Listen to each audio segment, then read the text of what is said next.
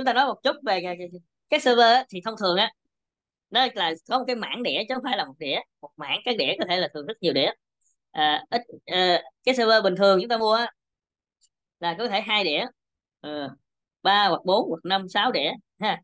Ở các trung tâm dữ liệu lớn còn nhiều đĩa hơn. À, hoặc là có những thiết bị chuyên dụng có rất nhiều đĩa như thế này.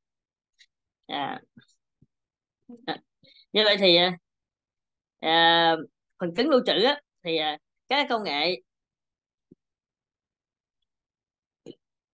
các công nghệ còn cho hệ thống lưu trữ thì à, mảng lưu trữ. Store array hay là disk array thay vì lưu trữ dữ liệu trên một máy chủ mảng lưu trữ sẽ sử dụng nhiều cái ổ đĩa. Trong một cái bộ lưu trữ uh, hoặc cái nguyên cái tủ đĩa luôn uh, server toàn này.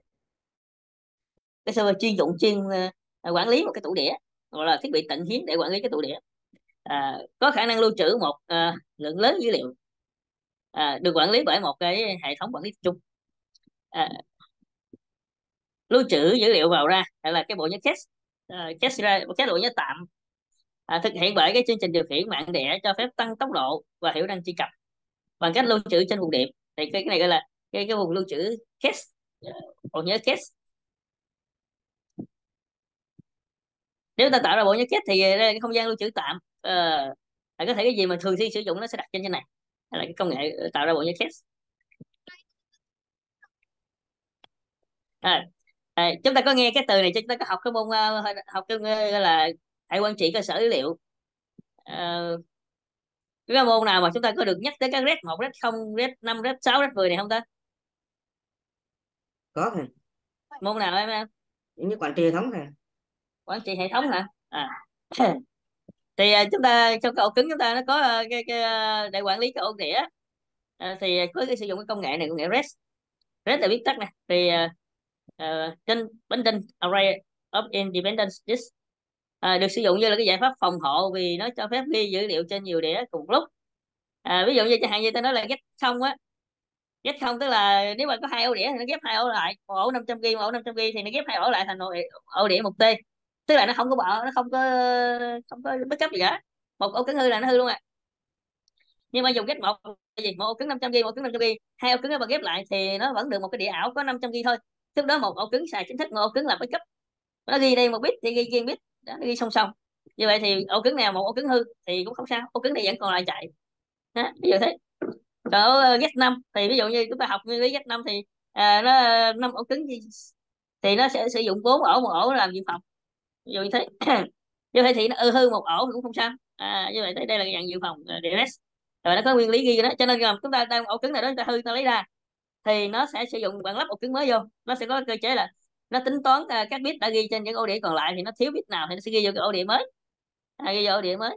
Và như thế là nó sẽ tự động gọi là khả năng tự động sửa lỗi. Ổ cứng mới gắn vô nó sẽ tự động nó ghi dữ liệu vô cứng mới đó.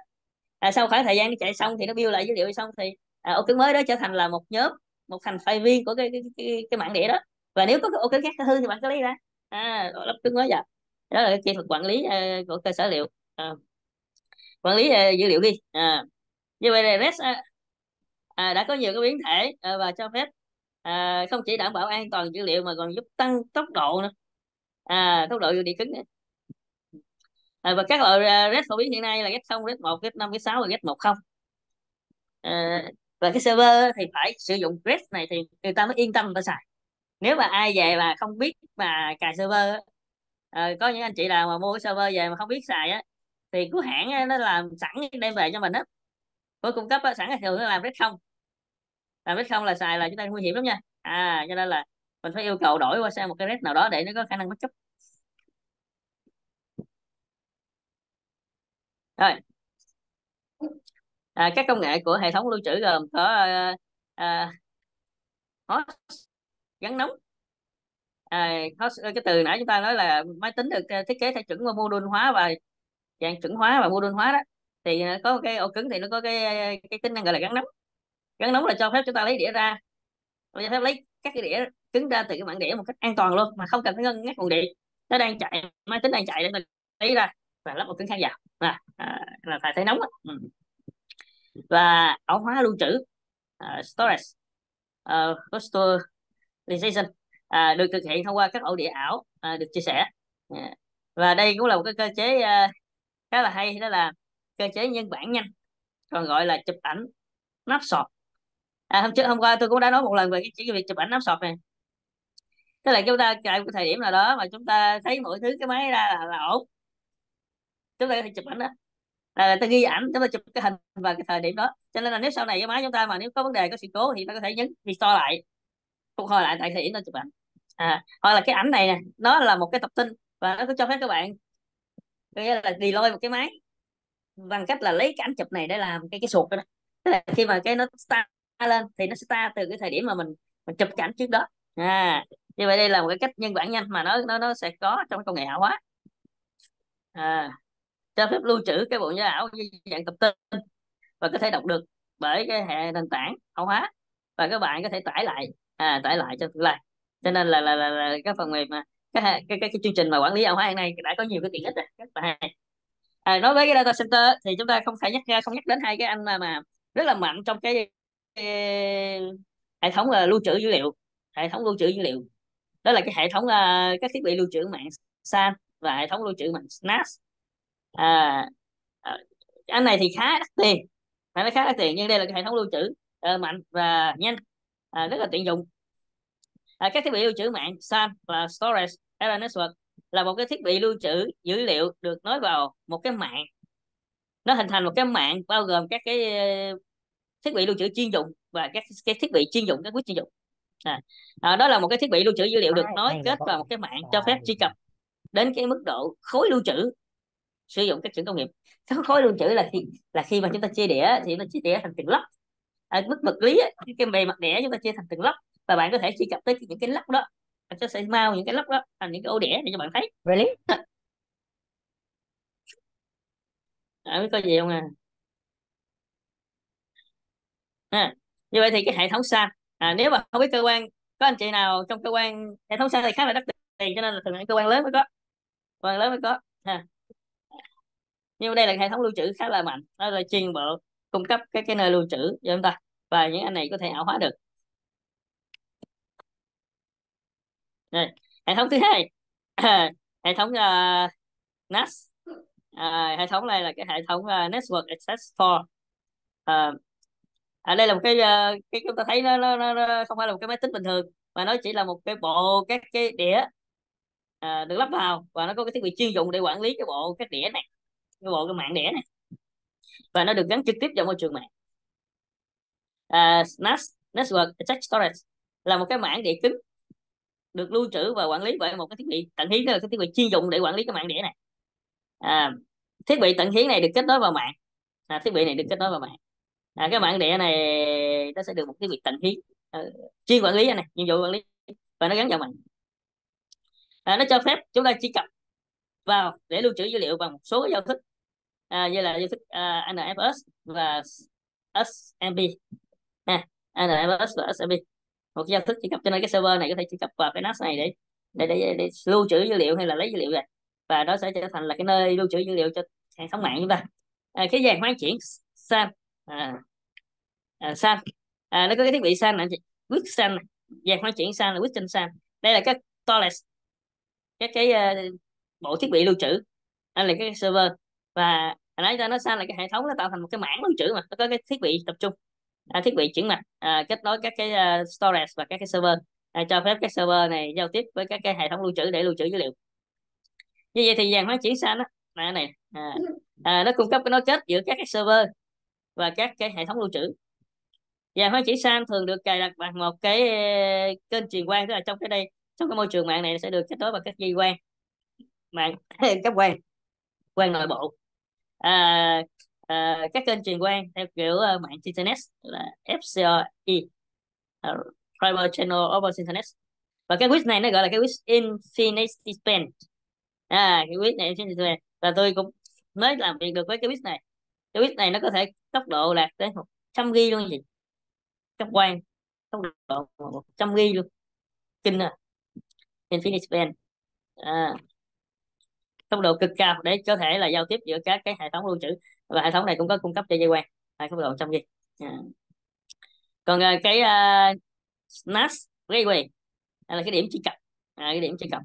À, điểm truy cập. À, à, sẽ kết hợp với cái switch à, cái server. Kết nối vào. À, truy cập cái mạng đĩa. Như vậy thì cái à, uh, NAS gateway hệ thống này nó cung cấp các điểm gắn kết các cái thiết bị lưu trữ dựa trên NAS rồi và cài đặt để giao tiếp uh, để cung cấp các tiện ích lưu trữ giữa dữ liệu SAN và NAS à, anh này nó sẽ cài cái cơ chế uh, cài một cái uh, điểm gắn kết cho các thiết bị lưu trữ giữa NAS và cài đặt các giao thức giao tiếp để uh, cung cấp các tiện ích truyền dữ liệu giữa hệ thống uh, NAS và SAN à. đó là chúng ta nói về hệ thống NAS và SAN là hai hệ thống lưu trữ uh, giúp uh, lưu trữ cái data uh, uh, bên trong các data center ừ. về các phần cứng mạng á, thì các data center cần rất nhiều phần cứng mạng à, cần uh, data center cần nhiều phần cứng mạng để cho phép uh, nhiều cái mức độ kết nối. À, đối với một cái phiên bản đơn giản hạ tầng mạng á một data center nó để có thể chia nhỏ các thành phần như thế này. Một cái hệ thống data center có thể chia thành các thành phần như thế này. Bên trong data center thì gồm à, nãy tôi thấy gồm có uh, giới thiệu là các có cái server có các thiết bị mạng có hạ tầng mạng. Thì bên trong đây là ta liệt kê một số thành phần cơ bản của một cái data center này nó có cái uh, hệ thống liên nối kết mạng giữa bên trong và bên ngoài. Tức là nó có sẽ có, có một cái số cái thiết bị à, nằm ở ngoài đường biên à, giúp đảm bảo nó kết giữa các mạng bên trong và mạng bên ngoài internet. Vậy thì việc liên kết kết nối này á, nó bao gồm các router đường trục thực hiện cái chức năng vạch đường giữa cái mạng internet bên ngoài là mạng WAN đấy và cái mạng bên trong LAN của data center. Cái này là những cái router đường biên này đảm trách đảm nhận cái trách nhiệm giao tiếp giữa cái mạng internet bên ngoài là mạng diện rộng bên ngoài với cái mạng LAN nội bộ của data center. À, nó cũng bao gồm các thiết bị mà đánh chặn đảm bảo an ninh cho các bạn bên trong chúng ta. À, bao gồm có các cái firewall và uh, các cổng kết nối riêng ảo. Ha cái từ này nãy tôi nói chúng ta ở ngay chữ đầu line này. mạng nối kết riêng ảo mạng nối kết riêng ảo là VPN à, để mà an toàn á, thì chúng ta sẽ sử dụng từ ờ, ở uh, kết nối ở xa. À, chúng ta có một cái đám mây riêng đặt ở Sài Gòn công ty Sài Gòn. Tôi ngồi ở đây nè tôi muốn kết nối vào cái đám mây riêng đó mà bằng một kết nối an toàn á thì tôi sẽ thiết kế một cái kết nối là VPN tức là một kết nối riêng. Từ đây đến Sài Gòn nó phải trải qua hàng loạt cái router trung gian hàng loạt các nhà cung cấp dịch vụ internet trung gian. À, như vậy thì đó là cái mạng công cộng. Nhưng mà trên cái mạng công cộng đó đã được đi dây đi router của nhiều nhà cấp dịch vụ rồi. Tôi sẽ dùng một kỹ thuật để tạo ra một cái mạng ảo à, một kết nối ảo từ tôi nè tới cái đám mây riêng ở Sài Gòn. À, bằng cái cách là tôi sử dụng cái công nghệ là VPN thì nó tạo ra một cái cái cái cái cái, cái, cái mạ mặt ảo à, à, bảo mật. Cho phép chúng ta kết nối từ đây cho tới đây đám mây riêng ở Sài Gòn. Chẳng hạn thì đây là một cái kỹ thuật. Mà tôi nói từ đầu đầu đầu, đầu uh, like nãy tôi nói cái mạng riêng ảo á. Đó là cái đó là VPN. Đây một số một cái thành phần khác mà trong cái data center ngoài các router và các gateway à, đóng vai trò là đường biên giữa cái mạng bên trong và cái mạng internet á, thì chúng ta còn có một cái bộ gọi là một cái thiết bị gọi là cái bộ cân bằng tải cân bằng tải nghe cái từ cân bằng là, là, là, là chúng ta biết chức năng của nó. Nhiệm vụ của nó là làm cho mọi việc nó cân bằng. Ví dụ như một cái dịch vụ có ba cái server đang phục vụ vậy thì một yêu cầu đến nó sẽ phân tranh nào? Phần tranh thứ nhất yêu cầu thứ hai đến phần tranh thứ hai yêu cầu thứ ba đến phần tranh thứ ba yêu cầu thứ tư đến nó lại quay về phần tranh thứ nhất. Yêu cầu thứ năm đến lại phần tranh thứ hai. Như vậy thì nhiệm vụ nó sẽ có phía trước nó sẽ có cái bộ điều phối yêu cầu chỉ định cho à, cái, cái, cái, cái, cái server nào phục vụ để đảm bảo là cân bằng. À, như vậy thì bộ cân bằng tải và bộ tăng tốc web. Ở tầng hai thì hệ thống này nó bao gồm các thiết bị là tăng tốc web. Như là nó có cái chức năng là tiền xử lý XML à, các thiết bị mã hóa và giải mã nè à, các thiết bị chuyển mạch ở tầng 7 à, à, các thiết bị chuyển mạch tầng 7 này là dựa vào cái nội dung để mà chuyển à, à, thực hiện cái chức năng vạch đường theo nội dung để mà à, chuyển cái yêu cầu cho cái cái server nào phục vụ à, đó là cái bộ cân bằng tải như vậy thì trong hệ thống mạng ngoài cái router và cái uh, firewall à, để ờ, định đường uh, đi và, và đánh chặn thì còn có một cái thiết bị nữa gọi là cân bằng tải. Ừ. cái đối tượng thứ ba đó là dàn hoán chuyển nội bộ là cái switch ở bên trong. À, nhiệm vụ của cái switch này nè à, à vậy thì trong đây nó có router và firewall thì tôi đã nói rồi. Thứ hai nó là một cân bằng tải và thứ ba đó là dàn hoán chuyển switch. À, tạo các cái mạng nhiệm vụ của cái switch này nó tạo ra các mạng cục bộ cung cấp cái nối kết với cái hiệu năng cao hoặc có kết nối dự phòng. Các cái switch trong cái sơ đồ mạng thường là nó sẽ nói eh, qua nói lại với nhau trong cái mạng nội bộ này. Ngoài ra ngoài cái việc là tăng tốc nó còn có nhiệm vụ là backup cho nhau nữa. Và hồi nãy mà chúng ta nói là một cái uh, data center nó đặt cái chuẩn tier 1, tier 2, tier 3 thì mọi thứ cái đường dây mạng nó cũng có backup nè. Nguồn có backup nè điện có backup nè quạt có backup đổ điện có backup thức tần tật đều có backup thì mới đạt cái chuẩn để đảm bảo mà thời gian sống của nó là tới 99.98 phần trăm thì chúng ta thấy là mọi thứ đều cho nó phải có backup hết. Như vậy thì về sơ đồ đi dây ở bên trong các cái thiết bị mạng các switch á, sẽ được kết nối có dư thừa à, để tạo ra cái sự backup cho nhau. À. À, được cài đặt bằng nhiều các thiết bị switch à, có tốc độ cao và chức năng vượt trội à, của các switch này chính là chức năng ảo hóa. Các switch này cũng có chức năng ảo hóa để chia cái mạng LAN thành các mạng LAN ảo. Mà cái cụm từ mạng LAN ảo ở đây á là VLAN à, như vậy thì cái chức năng này nó sẽ chia các cái switch ở tầng uh, cao à, quyết cái tầng cái quyết của mà đắt tiền của Cisco hay là HP nó sẽ có cái chức năng là, là ảo hóa. À, chia các mạng thành các cái mạng ảo. À, các mạng ảo. Rồi à, vạch đường. À, tổng hợp các đường truyền rồi vạch đường giữa các mạng cân bằng tải à, với nha. À, cân bằng tải. Giữa các bước này nó cũng có cân bằng tải. À, bằng một cái kỹ thuật nào đó có thể là bằng phần mềm hay bằng cấu hình hay bằng vạch đường tùy. À, như vậy là cái thiết bị thứ ba ở trong cái data center mà mình nói tới đó là cái switch. À, còn cái này là một căn vận tải. À, mà nói như thế thì à, có rất nhiều cái thông tin. Cho nên đó là không bằng chúng ta xem một cái video. À cho nên là vậy em coi cái video mà data center ở bên trong của Google ha à và mỗi cái kỹ thuật thì chúng ta lại xem thêm một cái video nữa. Kỹ thuật ảo hóa là gì? Hiện nay có công nghệ ảo hóa nào? À chúng ta sẽ coi xem cho tôi mấy cái video đó. À coi để mà lấy cái thông tin để mà chúng ta đánh trắc nghiệm. À, thi là trắc nghiệm. Những câu hỏi đơn giản là chỉ câu hỏi mang tính chất là thông tin thôi. Tức là chúng ta đã từng nghe nói chúng ta từng biết nó thì trả lời được. À, data center. À, phần cứng mạng tiếp theo. Chúng ta nói một chút về phần cứng mạng là data center đòi hỏi khả năng mở rộng và tính sẵn sàng cao à, bằng việc à, ứng dụng các cấu hình dự phòng ừ, và phòng chống hỏng hóc. Các hệ thống mạng à, thành phần á, sẽ đã cải thiện cái khả năng dự phòng và độ tin cậy của các data center. Cho các cái phép các data center có đủ tài nguyên công nghệ thông tin duy trì dịch vụ à, khi đối mặt với nhiều hỏng hóc khác nhau. À, hư nguồn vẫn chạy được hư ổ cứng vẫn chạy được chết CPU vẫn chạy được hư RAM vẫn chạy được à, thậm chí nguyên cái server đó nó đai luôn vẫn chạy được. À, có nhiều server khác. À, đương nhiên thì khả năng bổ sung chúng ta phải tức thì. À, nó có thể duy trì nhưng mà về phần cứng mà một cái máy à, hư thì ta phải duy trì và khắc phục để đưa nhanh chóng nó đưa vào vận hành. Và các đường truyền kết nối mạng à, bằng cấp quang siêu tốc. À, và chúng ta có thể sử dụng cái kỹ thuật là tổng hợp các cái kênh riêng lẻ các cái, cái đường truyền riêng lẻ vào một cái đường truyền tập trung à, của cấp quang bằng cái kỹ thuật là đa hợp. À, truyền lại cáp đa hợp thì đã từ đó cái cái cái, cái uh, uh, hệ thống mạng mà SAN và các switch InfiniBase hiện nay là ta dùng cấp quang. À, thiết kế trong cái trong cái data center à, dựa trong um, thiết kế một cái mạng giao tiếp giữa các bộ lưu trữ và các server bằng cái viết InfiniBase là đạt tốc độ 100 g mà bằng cái đường cấp quang. À cái đường cấp quang bên trong. À, các cái đường cấp quang á cũng cải thiện tốc độ và độ trễ. Nếu chúng ta à, sử dụng à, các server mà đặt ở phạm vi rộng trải rộng ở nhiều địa điểm. Thì cấp quang và tốc độ cao nó sẽ hạn chế được cái cái cái, cái độ trễ của cái đường truyền. À, kỹ thuật ảo hóa. Chúng ta nói tới kỹ thuật ảo hóa. Như vậy thì ảo hóa những đối tượng nào được ảo hóa và có thể được ảo hóa? À. ảo hóa là một cái tiến trình chuyển đổi các tài nguyên công nghệ thông tin vật lý thành cái tài nguyên công nghệ thông tin ảo ảo hóa là cái tiến trình chuyển đổi các tài nguyên công nghệ thông tin vật lý thành các tài nguyên ảo. Và các cái loại tài nguyên công nghệ thông tin có thể được ảo hóa bao gồm máy chủ có thể được ảo hóa một máy chủ vật lý có thể uh, được trừu tượng hóa để trở thành một cái máy chủ ảo. Ha.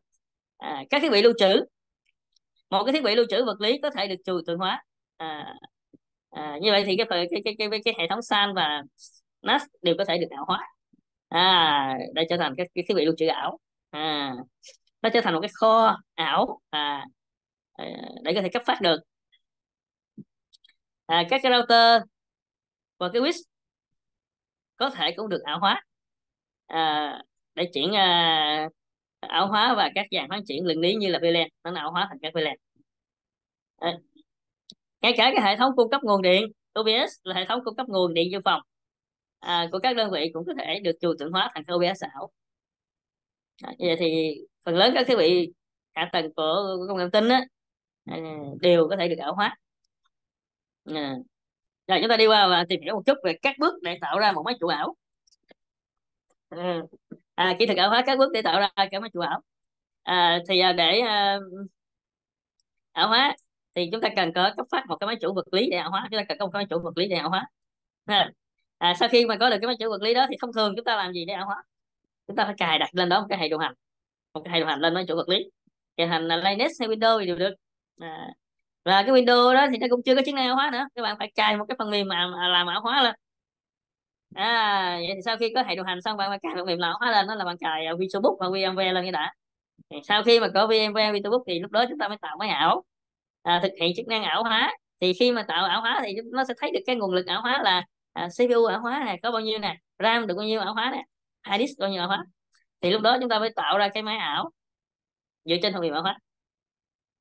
À, và cái phần hệ điều hành á. Hệ điều hành của một cái máy chủ á nha chúng ta nhớ cái thông tin này giùm tôi nha. Hệ điều hành của máy chủ ảo á hệ điều hành của máy chủ ảo được gọi là guest operating system.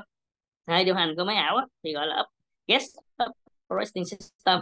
Nó độc lập với hệ điều hành của máy chủ vật lý nó không dính dáng gì cả. À nó và hay điều hành máy chủ vật lý gọi là host operating system. À. À, máy Windows. Chúng ta máy thật là hệ điều hành Windows. Nhưng mà lúc cái cài cái máy ảo chúng ta có thể cài Linux chúng ta có thể cài Ubuntu có thể cài uh, Fedora hay là cài gì đó tùy. À, có nhiều phiên bản có thể là, là mở nguồn mở. À. phần mềm ảo hóa à, bao gồm các dịch vụ chuyên biệt cho việc quản lý máy ảo. À, nó có nhiều cái dịch vụ. Và cái phần mềm ảo hóa hiện nay như VirtualBook hay VMware nó sẽ có nhiều à, cái dịch vụ à, cho việc quản lý cái máy ảo. À, và cái dịch vụ này thì thường sẽ không thấy trên hệ điều hành chuẩn à, hệ điều hành chuẩn không có nhiều khi không có. À, trên cái dịch vụ máy ảo này nó có. À, à, dụ như Napsort nè rồi à, à, Deloitte tôi thấy trên VMware nó có nhiều cái à, hiện nay nó cũng à, cũng khá là nhiều tính năng hay á à, chúng ta chưa nghiên cứu mà sử dụng hết tính năng đó. Chúng ta nhiều khi nhiều khi à, nghiên cứu thì thấy nhiều tính năng hay. À, như uh, sọt rồi Deloitte sai lại. Rồi import export rồi nhiều tính năng khác.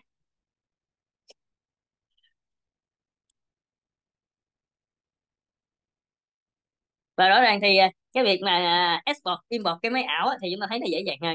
Ví dụ như chúng ta muốn chụp cái máy à, vật lý cái máy thật chúng ta đang chạy chúng ta muốn chụp hình nó lại chụp email lại thì khó mất nhiều thời gian. Các bạn phải dùng một cái chương trình ở cái máy khác các bạn mới chụp ảnh cái máy vật lý nó đang chạy lại. Yeah. à, trong khi cái máy ảo thì chúng ta chỉ cần tắt nó thôi chúng ta import export nó ra thành cái tập tin là bạn có thể đem nó qua cái máy khác các bạn inbox lại nó chạy lên liền. Như vậy thì nó, nó, nó dễ dàng hơn. Việc mà chụp cái máy ảnh uh, vật lý thì nó khó khăn hơn chút. À, các phần mềm ảo hóa được gọi là cái cái tên. À, các phần mềm mà ảo hóa được gọi với cái tên như thế này bộ quản lý ảo hóa. Các phần mềm ảo hóa được gọi tên bộ quản lý ảo hóa. Custodial Machine Manager Manager. Hay là bộ theo dõi máy ảo. Custodial Machine Monitor. Hay đơn giản là bộ ảo hóa. Chúng ta nói ảo hóa ảo hóa Custodial hay là Hypervisor. À thì hypervisor tức là là, là, là, là, là các phần mềm ảo hóa. À, các phần mềm ảo hóa. À, là bộ ảo hóa là hypervisor. Bộ theo dõi máy ảo à, là nó có nhiều cái tên gọi. À, nhiều tên gọi. Như vậy đây là các phần mềm ảo hóa được gọi với cái tên khác nhau. Hay là các phần mềm mà thực hiện chức năng ảo hóa. Như vậy thì cái phần cứng máy tính nè. À, máy tính chúng ta mua về có ram có cpu IO à, thì sau đó các bạn phải cài cái hệ thống Linux lên. À, và cái chương trình mà ảo hóa cũng khá phổ biến á. À, là KVM à, nó nằm trong nhân của hệ điều hành à, đây là một cái cái cái, cái, cái, cái chương trình nằm trong nhân hệ điều hành và nó giúp chúng ta tạo cái máy ảo. À như vậy thì máy ảo này bạn có cài cài Windows được nhé. Cài cũng được. Như vậy thì hệ điều hành của máy ảo này là nó độc lập với hệ điều hành của uh, máy thật. Hệ điều hành của máy ảo gọi là guest operator system. Còn hệ điều hành này gọi là host. Ừ, đây phải có hai từ là host operating system và guest operating system. Một số cái cái phần mềm chuyên làm công tác hàng hóa. À, như vậy thì đây là phần cứng nền tảng phần cứng à, thì sau đó các bạn sẽ cài cái Xgen lên. Xgen nó cũng là một cái công nghệ ảo hóa. À, nó sẽ ảo hóa CPU nó ảo hóa uh, memory và ảo hóa cái uh, uh, storage ảo hóa cái network ừ. sau khi các bạn nó ảo hóa lên nó sẽ các bạn có thể tạo ra cái máy ảo và bạn cài cái máy ảo lên. Và mỗi cái máy ảo có hệ điều hành khác nhau. Và các bạn thấy cái chương trình xgen này nó ảo hóa trực tiếp trên phần cứng luôn. À nó ảo hóa này nó không có hệ điều hành. Và bản thân xgen này nó xem như là một cái hệ điều hành luôn. Và nó ảo hóa luôn nó đảm nhận chức năng hóa luôn. Cho nên cái cơ chế vận hành của gen này nó khác một chút với cái KVM, à KVM, à. Anh này nó hóa trực tiếp lên nền tảng phần cứng luôn à. Còn cái KVM thì nó phải à, like một chút nó phải dựa vào một chút vào hệ điều hành à. Nhưng mà thì à, ảo hóa thì nó sẽ đây là cái à, nhân. À, nhân của ảo hóa. À, thì đây là các cái thiết bị phần cứng chúng ta nè. À, các bạn có thể là à, từ cái phần cứng này các bạn có thể cái ứng dụng này nếu nó có hỗ trợ ảo hóa thì các bạn sẽ trực tiếp tạo cái ảo luôn. À không phải ảo luôn.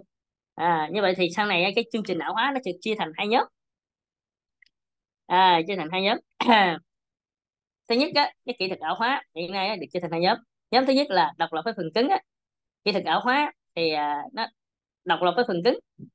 Khi ảo hóa à, các cái máy ảo á, mà chúng ta được ảo hóa ra chúng ta cài hệ hành lên đó, thì nó sẽ độc lập với phần cứng cho nên đó dễ dàng cho việc chuyển các server ảo này từ cái máy vật lý này sang máy vật lý khác. Đó. À, đây là cái, cái, cái, cái, cái do cái tính năng ảo hóa. Và à, cho nên chúng ta thấy đây nó như là một cái ưu điểm. À, thay vì chúng ta phải mua một cái máy vật lý chúng ta cài đặt hệ điều hành và ứng dụng chất dính cho đó thì bây giờ chúng ta chỉ thực hiện trên một cái máy ảo thôi. Và nếu cái vật lý đó chúng ta thấy nó đang có vấn đề nó sắp hư đó thì chúng ta lập tức chuyển cái máy ảo ra qua máy khác à, và cái việc chuyển đó là nó hoàn toàn là nó trong suốt và nó nhanh chóng đến mức mà người dùng không nhận biết rằng nó đã được chuyển đi mà nó vẫn phục vụ và nó vẫn sống. À, trong khi cái, phần, cái, máy vật lý đó nó có thể là sắp có vấn đề đó chúng ta đem ra khắc phục nó đi. Nhưng mà thì cái cái cái việc mà phục vụ của chúng ta cái dịch vụ của chúng ta nó sẽ không bị gián đoạn. Ừ. À cho nên nó là đây là một cái cái cái cái cái, cái ưu điểm của việc mà triển khai trên đám mây đó là nhờ cái tính năng ảo hóa này. Dễ dàng di chuyển. À, từ cái server ảo sang à, à, từ cái máy vật lý này sang máy vật lý khác. À, những vấn đề về tương thích phân cứng thì gần như là đã không còn nữa nó đã được giải quyết. Nhờ đó tạo ra cái bản sao à, và các thao tác trên cái tài nguyên công nghệ thông tin. Dễ dàng hơn nhiều. À, à so với việc tạo bản sao rồi à, à khắc phục cái sự cố trên máy vật lý. Rồi hợp nhất máy chủ. À, thông qua cái công nghệ ảo hóa này thì chúng ta sẽ sử dụng cái tài nguyên trên máy chủ. À, hiệu quả. À, hiệu quả và, và chúng ta sẽ hợp nhất cái máy chủ này một cách dễ dàng hơn sử dụng hiệu quả cái tài nguyên của máy chủ nhằm giảm bớt cái số lượng máy chủ. Cái câu này là sao? Sử dụng hiệu quả tài nguyên trên máy chủ nhằm giảm bớt số lượng máy chủ. Hoặc cái nơi đặt máy chủ. Cái cụm từ này chúng ta nói như thế này, ta hiểu là ví dụ như là trước đây chúng ta cần có ba cái server để triển khai ba cái dịch vụ. Một dịch vụ web, một dịch vụ mail, một cái dịch vụ database hay dịch vụ file gì đó. Như vậy thì các bạn để tránh xung đột. Thì đúng rồi mà các bạn sẽ nói rất là hay là một máy chủ vật lý sẽ chạy nhiều máy ảo để triển khai cho từng dịch vụ. À, như vậy thì bạn sẽ à, tận dụng được tối ưu hóa. Ví dụ như một cái máy chủ bạn cần chạy ba cái dịch vụ thì các bạn cứ tạo ba cái máy ảo. Bạn sẽ sử dụng tối ưu cái cái tài nguyên của máy vật lý. À, bạn không cần phải mua ba server. Ha à. à, như vậy thì cái tài nguyên vật lý chúng ta phải phải đủ mạnh. Thay vì chúng ta mua một cái máy mạnh mà chúng ta chỉ xài một cái dịch vụ thì nó đang lãng phí. Vậy thì máy ảo nó sẽ giải quyết được việc lần đó bạn tạo ra ba cái um, server có thể làm cái anh này chạy Windows anh này chạy Linux anh này chạy Ubuntu anh này chạy Fedora anh này chạy máy Smart thì nó vẫn chạy được à, chạy được và nó nó không có bị xung đột với nhau về phần mềm à. Đó. các phần mềm ảo hóa cho phép tạo ra nhiều máy chủ ảo trên cùng máy chủ vật lý à, vì thế nó hỗ trợ tốt à, trong việc cái hợp kích các máy chủ à, và và sử dụng tối ưu hóa các tài nguyên của máy chủ để tránh lãng phí à. Rồi nhân bản tài nguyên. À, ở đây có một số cái cụm từ khá là là, là hay. Đó là à, các máy chủ ảo đó, được tạo ra từ một cái ảnh đĩa ảnh đĩa ảo là virtual disk image. Thật ra cái ảnh đĩa này nó cũng là một cái tập tin thôi nó cái tập tin chúng ta import export ra. À, nó cũng là cái tập tin nhị phân chứa bản sao nội dung thì nó là một tập tin thôi. Và cái tập tin này nè cái tập tin của cái máy ảo mà chúng ta cài này tập tin của máy ảo này nè có thể được chia sức bởi hệ điều hành của máy chủ vật lý vì thế các thao tác mà chúng ta sao chép các dáng di chuyển ấy có thể được thực hiện để nhân bản. Và cái từ nhân bản là release replicate. À nhân bản cái các bạn có máy này các bạn muốn có cái máy giống y chang như thế thì các bạn cứ deploy nó chụp cảnh nó rồi bạn deploy ra. Rất nhanh. Cái cụm từ thứ hai là di dời. À, ví dụ như cái máy ảo này đang trên máy vật lý nó đang không phục vụ được nữa có nó có thể bị quá tải bạn có thể lập tức di dời. Rồi. Con từ migration này cũng khá hay và tính năng migration này ở trong lao là cũng khá là hay nha à, khá là hay đấy. À. đó là chùa ảo. À. À, vậy thì cái việc nhân bản và di dời cũng là một cái ưu điểm trên cái môi trường à, ảo hóa và cũng là ưu điểm trên môi trường đám mây à, việc thao tác dễ dàng trong việc nhân bản là nhân bản và ly chuyển là cái tính năng nổi bật của công nghệ ảo hóa. À, và cũng là tính năng cũng khá là hấp dẫn à, trên cái môi trường điện toán đám mây so với cái môi trường truyền thống à, nhân bản tự nhiên. À cái đó nhân bản à, dễ dàng thao tác của nhân bản. À, tạo ra một cái file ảnh mẫu chuẩn à, để mà tạo ra những cái máy à, máy à, khác từ một cái máy à, đã có thì các bạn có thể tạo ra một cái máy ảnh chuẩn nè mẫu nè. À, bao gồm các cái à, cấu hình phần cứng các hệ điều hành rồi các ứng dụng cần thiết à, như các gói à, sau đó các bạn sẽ à, à, triển khai nhanh cho một cái máy ảo. À, bạn cài xong các bạn chụp lại sau đó các bạn deploy cái cái, cái à, bạn muốn có máy mới mà từ những cái máy đã bạn đã cài rồi những cái phần mềm à, trước đó, đó thì các bạn cứ deploy từ cảnh đó. Cho nên là, là nó rất tiện thuận lợi à, có giãn năng lực máy chủ ảo một cách dễ dàng. Đây là những cái tính năng mà điểm mạnh của trên đám mây đương nhiên nó sau này chúng ta học những cái buổi sau chúng ta cũng sẽ thấy có những cái điểm yếu của đám mây nó phải là nó lúc nào nó cũng mạnh nhưng hiện giờ nó đang mạnh thì chúng ta nói nó mạnh. À, nhưng mà giờ mấy buổi sau học thì chúng ta sẽ thấy những điểm yếu đó. Thì khi mà chúng ta đã chốt lại thì nó thấy mạnh yếu của nó rồi thì chúng ta sẽ sử dụng nó sao cho nó phù hợp. Mình tối ưu hóa cái nếu mà mình phù hợp với những cái mạnh đó thì chúng ta cứ sử dụng. Rồi ảnh nắp sọt. À, cho phép quay lui vào cái thời điểm chụp ảnh tức là cái thời điểm nào cái máy ta ổn và ta tốt nhất chúng ta cũng có thể chụp ảnh đó. À, để sau này có sự cố thì chúng ta có quay lại. Ừ. à, thường xuyên tạo ra cái ảnh chụp của máy ảo à, bao gồm à, à bộ nhớ trạng thái và địa cứng của máy ảo. Ừ. hỗ trợ à, kinh doanh liên tục nhờ vào cơ chế sao lưu và phục hồi. Như vậy thì hầu như trên điện toán đám mây chúng ta rất khó thể nha. Bây giờ rất khó để mà nó nó nó đau à, hầu như là nó sống thời gian sống nó rất là, là à, tỷ lệ mà available là rất là cao. À, à, tạo ra nhiều cái thể hiện của tài nguyên và ứng dụng cần thiết đó là hỗ trợ kinh doanh liên tục nhờ vào cơ chế sao lưu phục hồi hiệu quả cũng như tạo ra nhiều thể hiện của các tài nguyên. À, tạo ra nhiều thể hiện là à, ví dụ như các bạn có cần uh, cân bằng tải hay là à, đang bị quá tải mà nâng cao khả năng hiệu suất phục vụ thì các bạn phải nhanh chóng nâng nhân bản tài nguyên ra nhân bản cái máy phục vụ ra. Rất là dễ dàng. À, một cái server đang phục vụ không được không không đáp ứng nhu cầu bạn thể. Nhân bản này nè ví dụ như các bạn chụp nó à, lại thành cái nắp sọt nhanh chóng triển khai một cái máy à cái máy server giống y như cái nắp sọt đó thì chúng ta đưa vào cái hệ thống cluster để nó phục vụ. Song song à, cân bằng tải. À cái này là hai cái line này là tôi nghe hay hỏi lý thuyết nè ha. Lý thuyết trắc nghiệm tôi hay hỏi mấy cái kiểu về vị trí như thế này. Và hiện nay là công nghệ ảo hóa dựa trên phần cứng và nó công nghệ ảo hóa chia thành hai nhóm gọi là thay một và thay hai thay một và thay hai. Là ảo hóa dựa trên phần cứng. Các máy ảo hóa tương tác trực tiếp với phần cứng luôn. À, tức là nó không có hệ điều hành của máy thật. Mà cái cái cái cái cái, cái chương trình ứng dụng ảo hóa này nè cái phần mềm ảo hóa này nè nó tương tác trực tiếp lên phần cứng luôn. Giống như Xen là nãy mà tôi nói. À, còn cái KVM thì bạn phải dựa vào cái nhân của hệ điều hành Linux. Còn cái VitoBook thì nó phải chạy trên ờ, ờ, uh, uh, VitoBook thì bạn phải có hệ điều hành Windows hoặc hệ Linux bạn mới cài VitoBook được như vậy thì Facebook hay là một số ứng dụng dạng như thế nó nó, nó phải dựa vào hệ điều hành nó không được ship vào dạng là thay một. Thay một là là các cái máy chủ ảo tương tác trực tiếp với các cái phần cứng. Nó trực tiếp luôn. Và nó không thông qua hệ điều hành cái máy thật cho nên nhờ đó nó nhanh hơn và nó, nó cải thiện được hiệu năng hơn. Một số cái vấn đề cần lưu ý là gì? À, mà để làm được việc này á thì các chương trình điều khiển phần cứng nó phải hỗ trợ cho cái ứng dụng ảo hóa và tương tác trực tiếp này. Này chúng ta thấy là phần cứng nè rồi cái phần mềm quản lý ảo hóa nó tương tác trực tiếp luôn. Rồi sau khi mà có cài phần mềm ảo hóa này lên các bạn trực tiếp tạo ra cái máy ảo trực tiếp tạo ra máy ảo trực tiếp máy ảo và các bạn cài cái hệ điều hành cái máy ảo này. À, cho nên đây là nó, nó cái ứng dụng này nó, nó trực tiếp làm việc với cái phần cứng. Ừ. như vậy các chương trình điều khiển á, của cái thiết bị phần cứng á, vật lý á, phải hỗ trợ được cho cái lớp ảo hóa này thì nó mới làm việc được. Thì cái chương trình à, phần mềm hỗ trợ ảo hóa này nè nó có thể uh, không có bao gồm cái chức năng quản lý cái máy chủ ảo.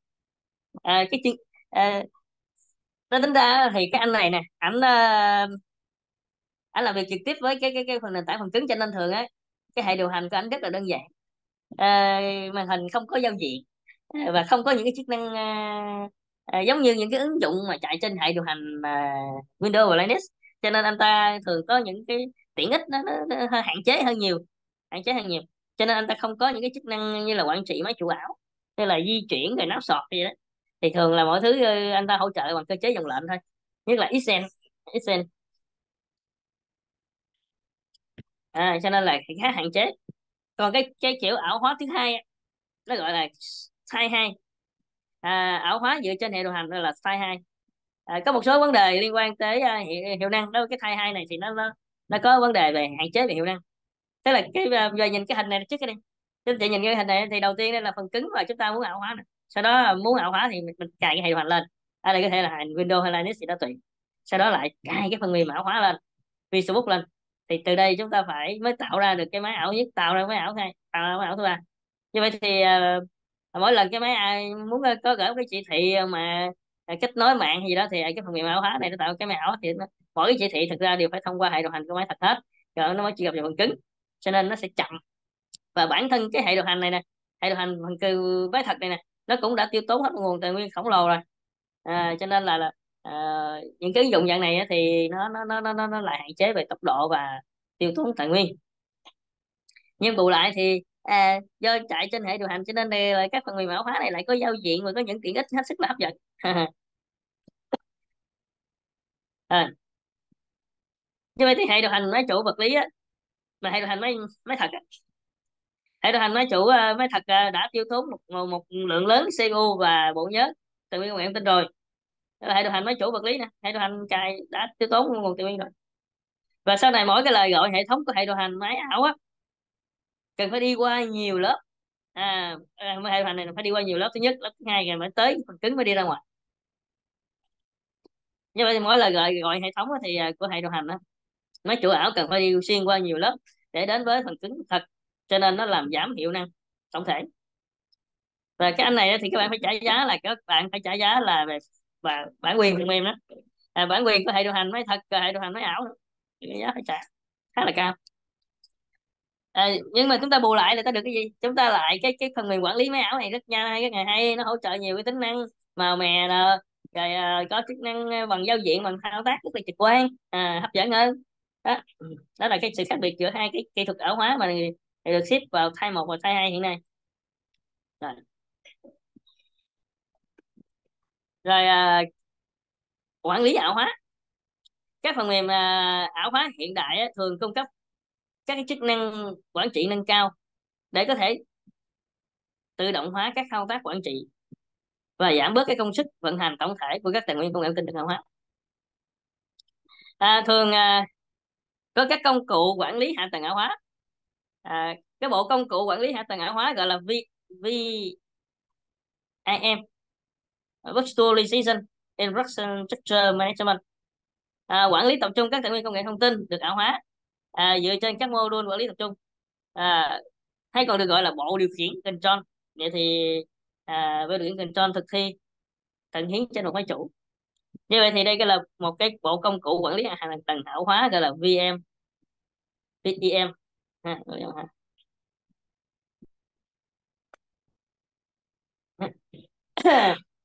và đây là một số cái phần mềm được ship vào cái dạng thay một thay hai à. à cái thay hai chúng ta nè là Oracle nè Facebook nè Facebook, Facebook PC, VM Workstation là cái phần mềm có giao diện mà chạy trên cái hệ điều hành Linux hoặc Windows.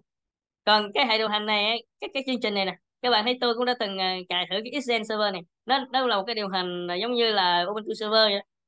À, nó quản trị trực tiếp trên nền tảng của của, của thiết bị máy thật và nó sẽ cung cấp cái môi trường ảo hóa. À, bằng cửa sổ dòng lệnh thôi cho nên nó nếu mà chúng ta làm được trên này thì tốc độ của máy ảo chúng ta sẽ nhanh. Nhưng đương nhiên nó không có giao diện nó khó không thân thiện với người dùng. Rồi hỏi người làm phải có cái chuyên môn ờ, tốt mới được như vậy thì có hai kiểu là thay một và thay hai. À, ví dụ này sai thay à. À, cái bài hôm nay chúng ta đi trình bày đến nhiêu đây thôi. Chúng ta chỉ trình bày một, số cái công nghệ có liên quan đến uh, nền tảng để phát triển đám mây thôi. Không biết chị có gì trao đổi thêm không? Thầy cho mở ra thầy lùi lại cái slide 41 này. Ngay, ngay chỗ mà cái ý uh, dưới này nó để chữ uh, ảo hóa và dựa trên một module. Module.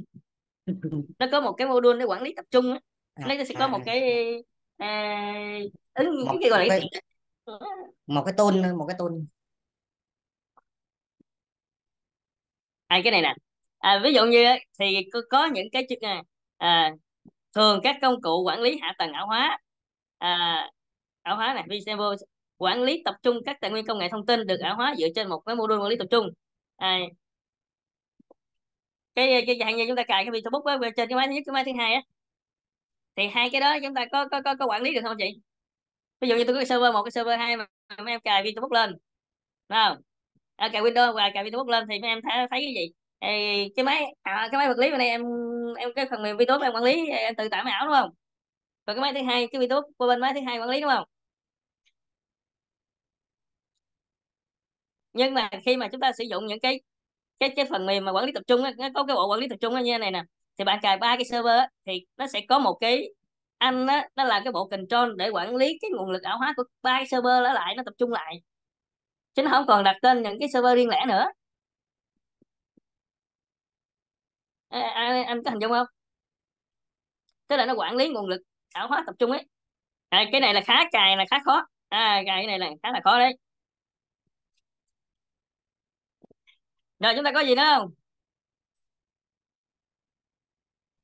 Có gì cho trao đổi hỏi không? em hỏi xíu hả này là hồi nãy thầy có nhắc về VPN á nhưng mà theo em được biết là VPN nó có nhiều cái à, khác nhau như là OpenVPN hay là à, nhiều em nhớ là nhiều, nhiều lắm nhưng mà thầy có biết là cái nào nó sẽ tối ưu khi kết nối không thầy? À, cái đó thì cũng, cũng cũng tùy mình triển khai cho và nó có cái thiết bị của mình hỗ trợ nữa. À, thiết bị của mình hỗ trợ nữa. Nhưng mà có triển khai VPN là là là là là, là, là ổn rồi à, có nhiều cái cách để triển khai tùy theo cái cái router của mình nó có hỗ trợ cái loại VPN nào. Ừ. Là mình mình mình coi á mình triển khai ra đó mình coi nên cũng mình trước khi mình mình triển khai á, mình ờ, nên coi ưu và cái khuyết điểm của nó trước khi mình triển khai. Ừ.